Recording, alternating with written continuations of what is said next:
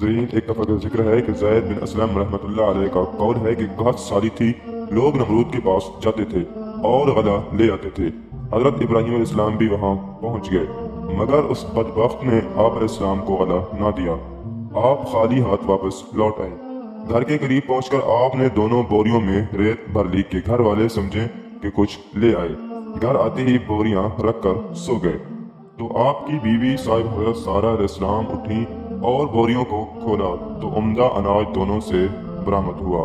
तो आपने खाना तैयार किया। जब हज़रत इब्राहिम इस्लाम उठे तो खाना तैयार था। पूछा, अनाज कहाँ से आया है? तो आपकी बीवी ने फरमाया कि जो बोरियाँ आप भर लाए थे, उन्हीं में से ये अनाज निकाला था। आप समझ गए कि ये खुदा ताला की तरफ़ से बरकत और उसकी रहमत है।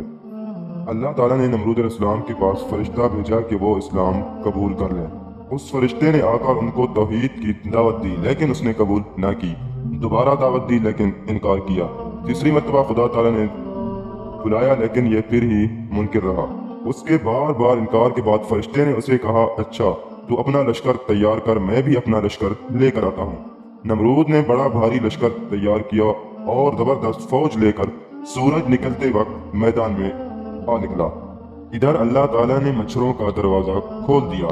बड़े बड़े मच्छर इस कसरत से आए कि लोगों को सूरज भी नज़र न आने लगा। ये खुदाई फौज नमरूदियों पर गिरी और थोड़ी देर में उनका खून क्या गोश्त भी खा गए। उनका खून भी पी लिया और गोश्त भी खत्म कर दिया हत्या कि वो फौज एक हड्डियों का ढांचा बनकर गिर गई। उन्हीं मच्छरों में से एक नमरूद के नाक में घुस गया और 400 साल तक उसका दिमाग चढ़ता रहा। ऐसे सख्त अजाब में वो रहा कि उसे मौत हज़ारों दर्जा बेहतर थी। अपना सर दीवारों और पत्थरों पर मारता था। हथौड़ों से कुचलवाता रहा और यूँ ही उसकी हलाकत हो गई।